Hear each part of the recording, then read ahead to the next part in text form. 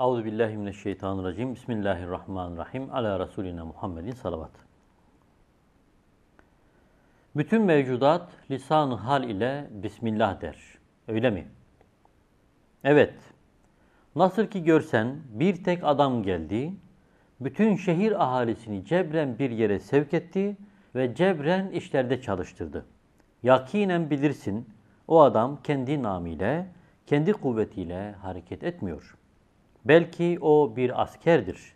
Devlet namına hareket eder, bir padişah kuvvetine istinad eder. Şimdi mevcudat Bismillah diyor mu? Ayet-i kerimede ve in min şeyin illa yusebbihu bihamdi. Hiçbir şey yoktur ki Cenab-ı Hakk'ı tesbih etmemiş olsun ifade buyuruyor. Şimdi Cenab-ı Hakk'ı tesbih ne demek? Cenab-ı Hakk'ı anmaktır.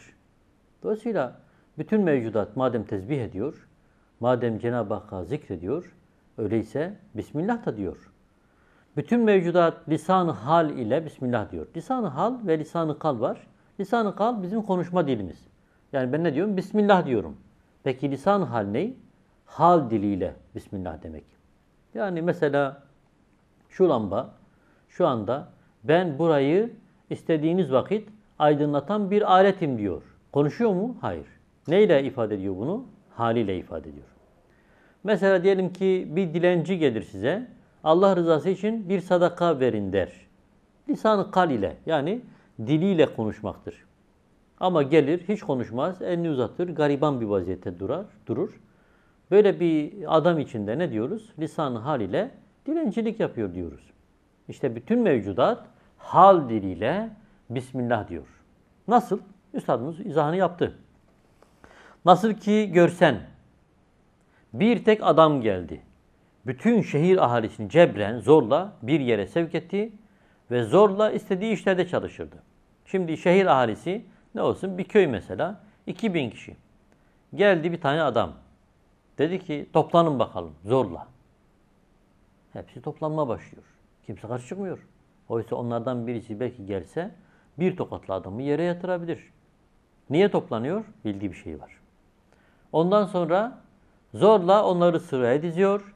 Yürüyün diyor, zorluyor ve yürüyorlar. Ve istediği işlerde de çalıştırıyor. Üstadımız diyor ki, yakinen bilirsin bu adam kendi başıyla, kendi hareketiyle, kendi iradesiyle yapmıyor bunu. Kendi kuvvetiyle yapmıyor bunu. Peki neyle yapıyor? Ancak anlarsın ki bu adam bir memurdur ya da bir askerdir. Devlet namına hareket eder, padişah kuvvetine istinad etmiştir. Yani bu adam kendi şu anda sahip olduğu cüz'i kuvvet ve kudretiyle koca bir köyü, 2000 kişiyi zorla bir yere toplamaya muktedir değil. Zorla istediği işlerde istidam etmeye, çalıştırmaya muktedir değil. Zorla istediği yere götürme gibi bir kuvvet ve kudrete malik değildir. Peki kiminle yapıyor bunu? Arkasında onların gözle görmediği ama akıl ve hikmet ile anladığı bu bir askerdir ve padişah kuvveti vardır diye itikad ettiği, iman ettiği bir kuvvet vardır. Yani arkasında padişahın kuvveti ve kudreti vardır. Yani devletin askerlerin hepsi arkasında, kuvvetin hepsi arkasındadır. Peki hakikata geçelim. Hakikat da şu. Şu anda bütün mevcudat, bütün varlıklar zahiri nazarda baktığımız vakit hiçbir gücü, hiçbir kuvveti, hiçbir kudreti, hiçbir ilmi yoktur. Ama öyle işler yapıyorlar ki adeta o askerin kendi kuvvetinden milyon kat daha büyük bir işi yapması gibi muazzam işler yapıyorlar. Yani bir atom diyelim geliyor vücudumun içerisine muazzam bir kanunla girer, gözüme girer ve gören bir unsur olur. Daha dün havuçtu, daha ondan evvelki günde topraktı, daha evvelki günde belki e, bulutta bir su damlasıydı. Ama nasıl dolaştı, nasıl kanunlardan geçerek güzel bir vaziyet aldı ve nasıl bir hale gelmek suretiyle de gözüme geldi ve ulaştı ve ondan sonra da gördü. Ne diyor burada? Nasıl ki asker ben devlet namına hareket ediyorum diyor ve devlet namına hareket ettiği için de koca bir köyü hatta bir ilçeyi istediği gibi istidam ediyor. Aynen öyle de küçük bir atom hal diliyle ben Allah namına hareket ediyorum diyor. Allah için işliyorum diyor.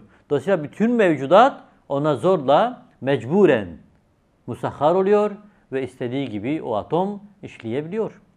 O element istediği şekilde işleyebiliyor. Dolayısıyla ben Bismillah diyorum. Allah namına başlıyorum. Allah'ın ismiyle hareket ediyorum. Dolayısıyla Allah emrettiği için ey kainat, ey bütün mevcudat, ey benim muhatap olduğum şu kainatın içerisindeki şu kitle bana musahhar olunuz, bana ram olunuz, adeta emirlerimi yerine getiriniz. Siz emirlerimi dinlemiyorsunuz. Aslında yüksek yerden Cenab-ı Hak'tan gelen emirleri dinliyorsunuz diye Cenab-ı Hakk'ın ismiyle hareket ettiğinin güzel bir göstergesi ve örneği oluyor. Atoma bütün mevcudatı kıyas etmek mümkündür. El Fatiha Massalavat.